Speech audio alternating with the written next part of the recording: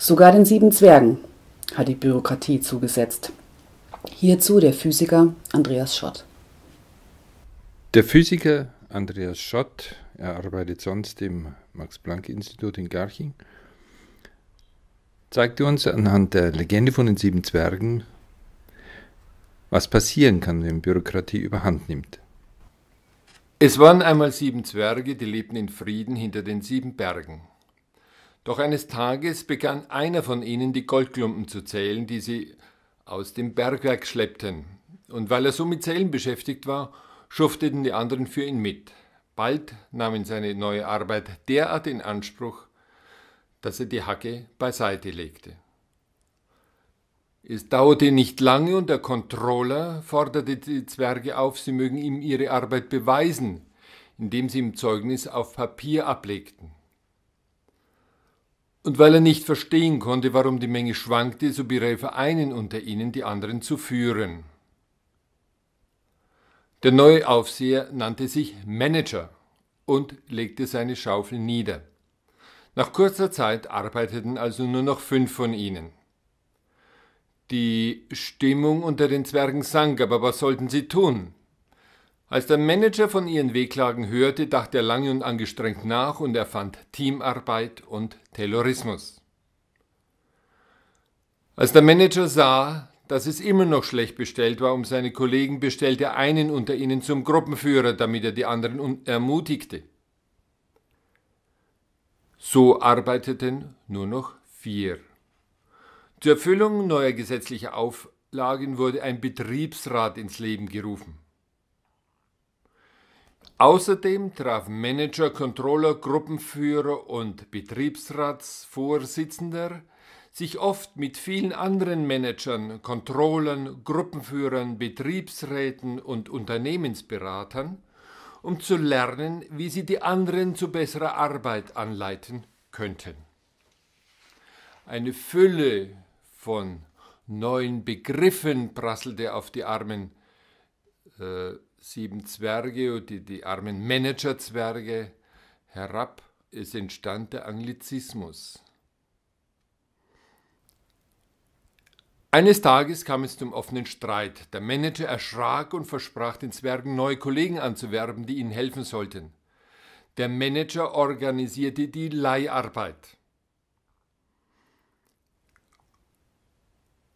Also kamen neue Zwerge. Um deren Arbeit zu organisieren, ernannte der Manager, der sich von nun an Geschäftsführer nannte, einen Human Resource Manager.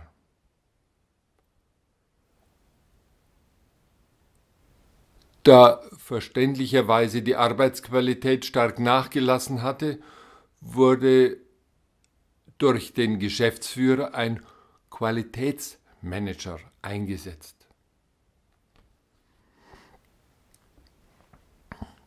Die zwei Zwerge, die noch arbeiteten, erbrachten ihr Tagewerk mehr schlecht als recht. Als sich die Manager und der Controller ratlos zeigten, beauftragten sie schließlich einen Unternehmensberater. Der erklärte den verdutzten Managern, die Gründe für die schlechte Leistung sei darin zu suchen, dass die letzten beiden im Bergwerk verbliebenen Zwerge ihre Schaufeln falsch hielten. Als vorgeschlagene Lösung wurde die Disposition ins Leben gerufen, als ein Disponent ernannt. Dann kassierte der Unternehmensberater eine ganze Lore Gold und verschwand so schnell, wie er erschienen war. So arbeitete nur noch ein letzter Zwerg in den Minen. Der lernte eines Tages Schneewittchen kennen und verliebte sich. Das Bergwerk verfiel. Manager, Gruppenführer und Controller fanden sich mit großzügigen Summen gegenseitig ab und verschwanden auf nimmer Wiedersehen.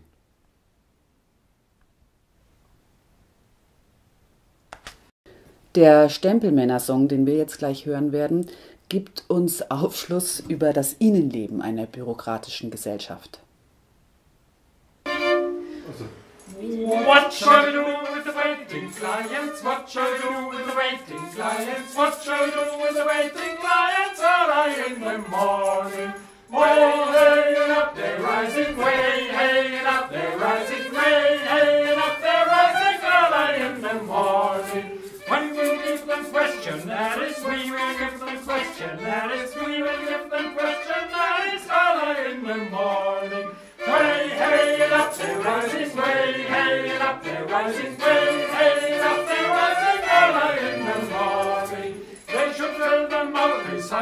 they should fill them out precisely, they should fill them out precisely early in the morning. Way, hey, and up they're rising, way, hey, up they're rising, way, hey, up they're rising early in the morning. Now we close the office counter, now we close the office counter, now we close the office counter early in the morning.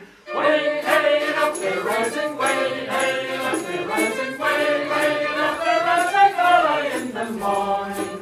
Cause we need a coffee break, cause we need a coffee break, cause we need a coffee break. Early in the morning. Way, hey, up they're rising, way, hey, up they're rising, way, hey, up they're rising. Early in the morning. What you do is phones are ringing, what you do is phones are ringing, what you do is phones are ringing. Early in the morning. Way, hey, up they're rising, way, hey, up they're rising, way, hey, up they're rising early in the morning. Put them on hold until we're ready, put them on hold until we're ready, put them on hold until we're ready early in the morning. Way, hey, up they're rising, way, hey, up they're rising, way, hey, up they're rising early in the morning. We need a time for many meetings,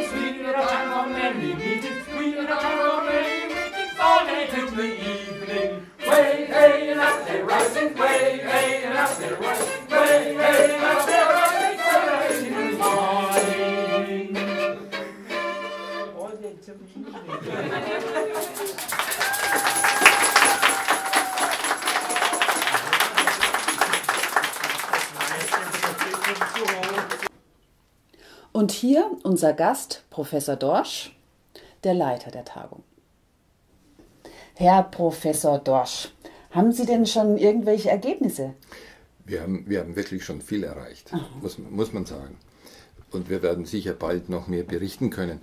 Für heute möchte ich Ihnen nur mitteilen, dass wir einen äh, Anti-Bürokratie-Schutzbund äh, gegründet haben, mit mir als äh, kommissarischem Leiter, der Frau Dr. Pritschklink als erster äh, stellvertretender Vorsitzender, der Frau Dr. Guber als zweiter, stellvertreten, äh, zweiter stellvertretenden Vorsitzenden, dem Herrn Dr. Schmidt als äh, zuständig für Wissenschaftsarbeit, Herr Dr. Schott als Assistent des, äh, von Dr. Schmidt, dann dem Fräulein äh, Past für, für äh, ja, Geschichtserforschung Vielen und Dank, das Fräulein, Herr Professor Fräulein Nieder Dorsch, für Reklamationen. für Ihren interessanten Bericht. Ja, danke. Ja, Danke. also Danke. bis zum nächsten Mal. Danke. Schönen Abend.